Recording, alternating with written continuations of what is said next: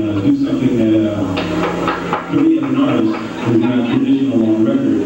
However, it is traditional to me as a musician growing up as a youngster in New York City. I had the privilege of, as a teenager, about the age of 15 or so, studying at Jazzmobile in Harlem. And uh, that program during that time was designed for students uh, such as myself to introduce them to jazz playing. All I was R&B to that point. And uh, I had the pleasure of working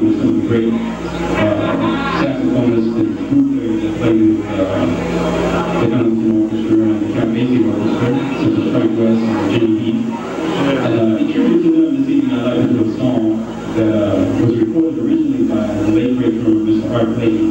This is a song that uh, I enjoyed playing with him shortly before he passed away. This is called Third World Express, featuring Andrew on piano and Mr. Agrawal on drums.